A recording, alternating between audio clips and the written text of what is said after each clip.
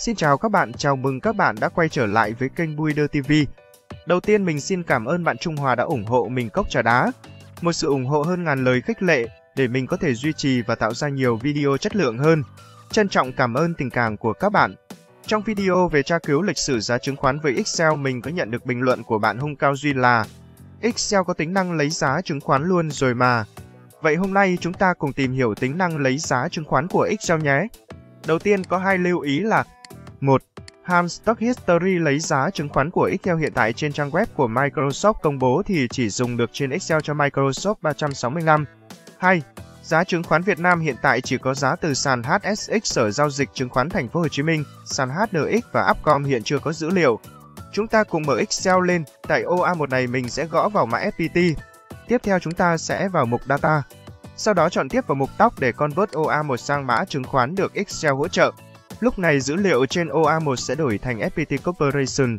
Khi chúng ta ấn vào biểu tượng ngôi nhà trong OA1 sẽ hiện ra các thông tin chi tiết cho mã chứng khoán của chúng ta như giá hiện tại, sàn chứng khoán mã được niêm yết, tên đầy đủ của công ty, mã chứng khoán, giá và phần trăm thay đổi so với giá đóng cửa của phiên trước.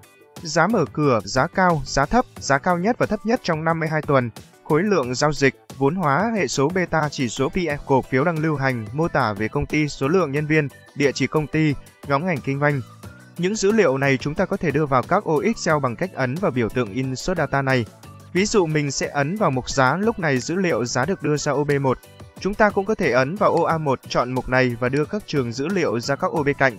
Nếu muốn đưa các dữ liệu chứng khoán này ra một ô bất kỳ thì chúng ta nhập công thức trực tiếp vào ô cần thể hiện giá trị. Ví dụ mình muốn lấy giá chứng khoán vào ô A3 thì mình sẽ nhập công thức là bằng A1.page. Để lấy lịch sử giá chứng khoán chúng ta sẽ sử dụng hàm Stock History. Mình sẽ ví dụ tại ô A5 mình muốn lấy giá đóng cửa của mã FPT tại ngày 22 tháng 12 năm 2022 thì mình sẽ nhập bằng Stock History, mã chứng khoán mình sẽ nhập là OA1 Ngày bắt đầu là 22 tháng 12 năm 2022. Các bạn lưu ý ngày tháng sẽ để trong dấu ngoặc kép. Nếu bạn gặp vấn đề với việc Excel không nhận ra ngày, bạn có thể thử thay đổi cài đặt định dạng của hệ thống hoặc sử dụng định dạng ngày khác.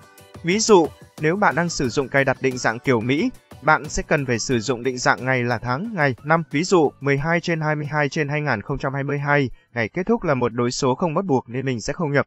Inteva mình muốn lấy dữ liệu theo ngày nên mình sẽ nhập là không. Tiếp theo mình không muốn hiện tiêu đề cột nên mình chọn tiếp là không. Phần đối số này mình muốn lấy giá đóng cửa nên sẽ nhập là một. Sau đó chúng ta ấn Enter để kết thúc hàm. Như vậy là chúng ta đã có giá đóng cửa của mã FPT vào ngày 22 tháng 12 năm 2022 là 77.200 đồng.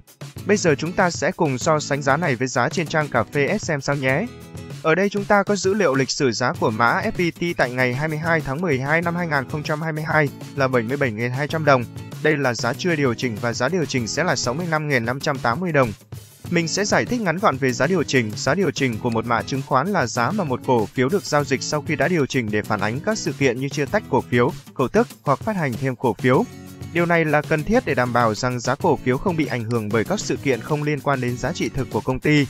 Ví dụ, nếu một công ty quyết định chia tách cổ phiếu hai một tức là mỗi cổ phiếu hiện tại sẽ được chia thành hai cổ phiếu, giá cổ phiếu sẽ giảm đi một nửa sau khi chia tách.